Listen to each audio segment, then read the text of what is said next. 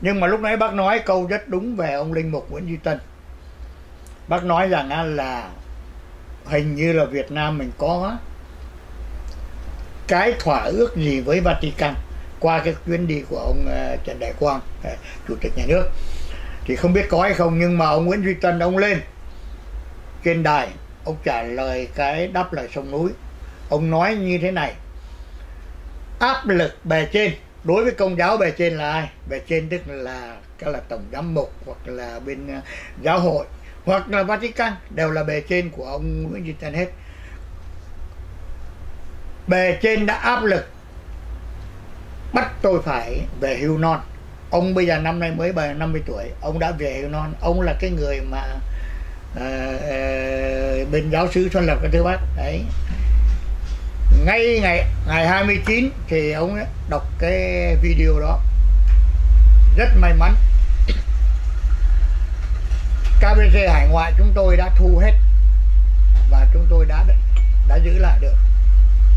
Còn y nguyên, nhưng mà đó, ngày 30 xóa đi hết. Thì cũng có phải đó là áp lực của, cái áp lực của bề trên bắt ông bảy gỡ xuống không? Tại vì ông đổ lỗi cho bề trên mà.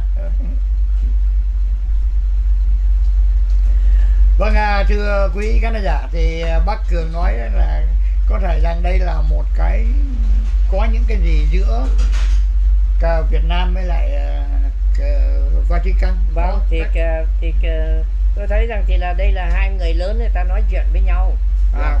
cả hai bên ờ, cả, tại vì rằng thì là ông giáo hoàng à, tất nhiên là họ có cái nhìn rộng lớn thì họ thấy rằng thì là à, cái cái công giáo mà đã có những các cái lỗi lầm đối với lịch sử dân tộc Việt Nam cũng nhiều lắm. Và nhất là bây giờ nó đẻ ra à, nó đẻ ra cái cái công giáo mà gốc Việt hải ngoại đó à, không ạ của những người Việt mà à, công giáo đó gốc Việt đó dạ. à, thì à, nó nó thành ra một cái thứ uh, một cái thứ thứ thứ thứ thứ tinh quái quá yeah. Dạ. à, à nhân đây tôi lại xin có lẽ là dạ vâng. cái ông à, cái ông Hoa Phát đó cái ông Hoa Phát ông ấy đổi tiền đó dạ à, vâng Hoa Phát à, à, cái ông Hoa Phát ông ấy đổi tiền yeah. đổi tôi, tiền mới gửi hàng về Việt Nam vâng yeah. đó thì tôi thấy rằng thì là ông ấy đưa ra một cái cảnh giác à, cái cảnh giác là để ông ấy báo ông ấy báo rằng thì là cẩn thận là có những các cái ông ấy đã khám phá tới hai cái vụ lừa đảo. Và đừng có tin người ta nhưng mà ông ấy đưa ra cái trường hợp này thì tôi mới thấy rằng thì là những các cái cha cố này nó cái tiền nó nhiều lắm nó uy tín lắm. Ông ấy nói chuyện rằng thì là đây à có cái vụ là à, nói chuyện rằng thì là ông cha à đương lái xe là đương bận cái gì đó nói chuyện rằng thì là à, à, à con gửi cho cha hai mươi mấy ngàn nghe không? Con gửi cho cha hai mươi mấy ngàn nữa rồi thì là à, cha về cha trả không ạ? Rồi thì là và à, con là ai? Thì ông này ông nói rằng các cha này với lại những chức sắc của các nhà thờ đó là họ quen nhau hết họ biết tên nhau hết yeah. Dạ. và à, cái chức sắc đó đó à, bỏ ngay tiền ra để mà gửi rồi thì là cha về thì là không biết là có gửi hay không có trả lại hay không nhưng cái ông Hoa Phát đó ông ấy nói cái, một cái chuyện đó là vì ông ấy quen vấn đề đổi tiền dạ vâng. thì ông ấy cảnh giác ông ấy báo cho mọi người biết rằng có khéo là những các cái gửi tiền như vậy rồi thì là về Việt Nam thì lại là chỉ có số cell phone thôi không ừ. biết ở đâu thành ra đó cái cái tiền mà gửi đó mất và không đòi được đâu ông yeah. Dạ. ấy cảnh giác thế thôi yeah. Dạ. à, ông ấy thì là với tính cách của một người gửi tiền yeah. Dạ. nhưng mà đằng sau cái cái đó, cái đó là cái thì gì? mình mới biết là cái công giáo nó gửi tiền vô tội vạ. Yeah, vâng, à, cái tiền của nó lớn lắm nó yeah. uy tín. Và vì vậy mà ở trong Việt Nam mới có những các cái chuyện phát tiền phát tiếc à, nó thuê người này người kia. À, tình, à. nó mớm cái này người kia cái kiếc rồi chứ. Không tiền thì khó làm việc lắm. Đúng và vậy. đấy đấy mới là cái bàn tay cái bàn tay lông lá của cái của cái công giáo. Rồi, vâng.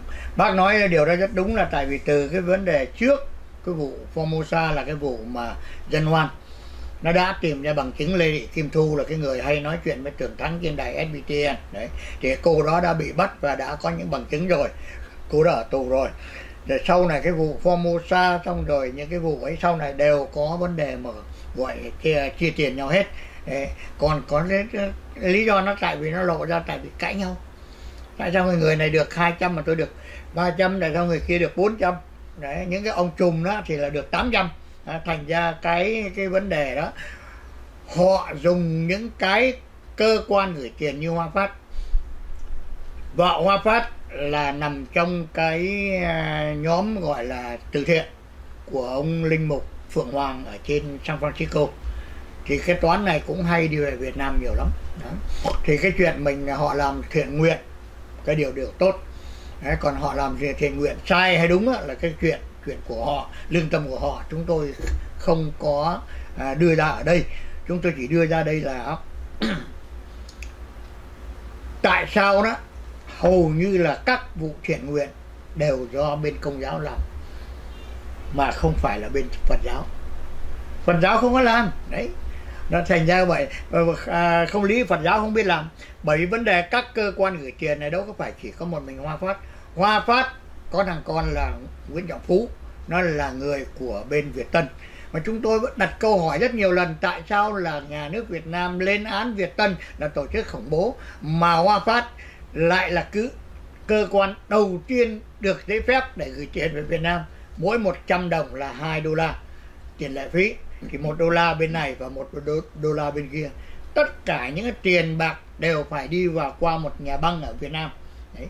phải đi qua một nhà băng mà nhà băng BIDV hay là PVCombank hay là cái gì Đấy. thì qua qua một cái nhà băng người ta có quyền nhận tiền tại nhà hoặc là đi ra nhà băng để lãnh tiền Đấy.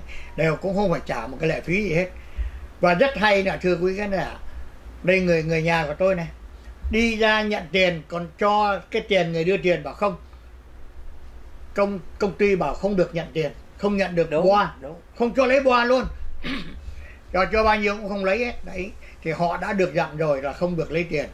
Và họ gửi tiền về. Bao nhiêu cũng được chứ không có phải bị giới hạn như là kiểu mà đi về Việt Nam thì chỉ mang được về 10 ngàn đô la đây lúc đi ra thì chỉ mang ra được 5 ngàn đô la không có. Hoàn toàn.